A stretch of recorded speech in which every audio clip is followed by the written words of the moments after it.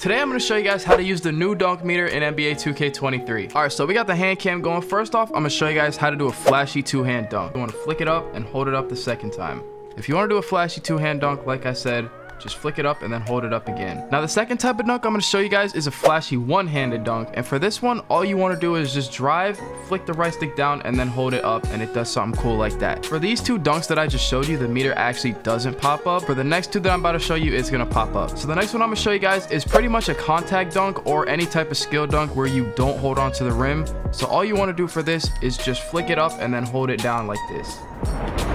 So I'm gonna show you guys one more time. All you wanna do for the normal skill dunk is literally just flick the right stick up, hold it down, and it does something like that. Now the last one I'm gonna show you is a skill dunk where you hold on to the rim. So for this one, you just flick the right stick down and then hold it down again. Okay, what the? So you wanna flick the right stick down and hold it right down afterwards, just like that. Super easy. I'm gonna show you guys one more time because it kind of looks a little difficult. I'm not even gonna lie. You wanna flick the right stick down and hold it down right after.